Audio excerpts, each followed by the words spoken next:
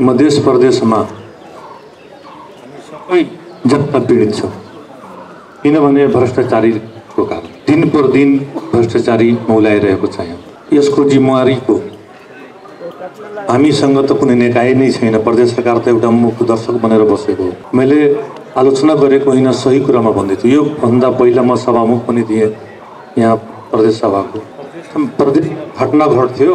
कुनै ठाउँमा डकैती भयो कुनै ठाउँमा अपहरण भयो कुनै ठाउँमा बलात्कार भयो मान्यजीहरूले सदनमा कुरा उठाउने। अनि सभामुखजी रुलिङ गरिदिनुहोस्। म रुलिङ पनि गर्थेँ। पछि प्रदेशको गृहमन्त्रीसँग सोद्धाखेरि गृहमन्त्रीले त्यो घटनाको थाहै हुँदैन। जबकि खास गरेर प्रदेश सरकारलाई पुलिस संयोजन गरिदिनुपर्छ। तर संयोजन नगरे पनि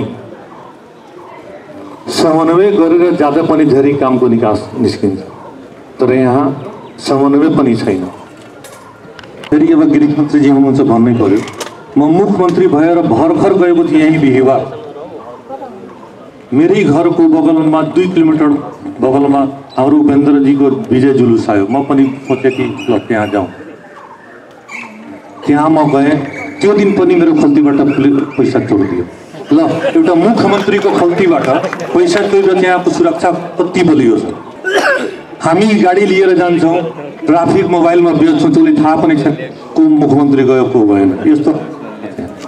त्यसै कारण जबसम्म प्रदेश सरकारसँग समन्वय हुँदैन संयोजन त ठुलो कुरा हो। समन्वय हुँदैन।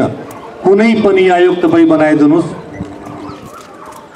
निष्पक्ष तरिकाले पीडितले न्याय पाउँदैन यो मेरो विश्वासको दावा पनि कर्मचारी संयोजन र पुलिस संयोजन तपाईँ गरेर हेराइ गरिदिनुहोस् म यो प्रदेशमा चौबिस घन्टाभित्र सबै पीडितहरूलाई न्याय दिलाएर दोषीलाई म कालकोठामा गरिदिन्छु त्यो मेरो प्रतिबद्धता पनि छ म मिटर ब्याजी जस्तै पीडित भएर यो कुरा राखेको म गुनासो गरेको होइन मिटर ब्याजीभन्दा पनि बढी पीडित प्रदेश सरकारको प्रमुख भएको हैसियतले म भन्दैछु किनभने यो प्रदेशको पुरै किसान पीडित छ। एउटा नागरिकता लिनमा पनि पाँच दिन लाग्छ।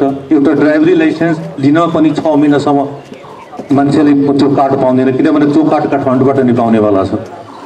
त्यसकारण म हाम्रो उप प्रधानमन्त्रीज्यूसँग मेरो बिन्ती पनि छ किनभने उहाँ पनि जुन युद्धबाट परिवर्तनको लागि नै लड्नु भएको हो। हामी पनि सङ्घीयताको लागि नै लडेर नै आएको हो त्यसकारण हाम्रो विचार हाम्रो सिद्धान्त पनि मिल्छ अब सङ्घीयता भइसकेपछि प्रदेश सरकारले पाउने अधिकार चाँडैभन्दा चाँडो पुगाइदिनुहोस् यो प्रदेशको सबै जनताको शान्ति सुरक्षादेखि कुनै जनतालाई पीडितमा बस्न म दिँदैन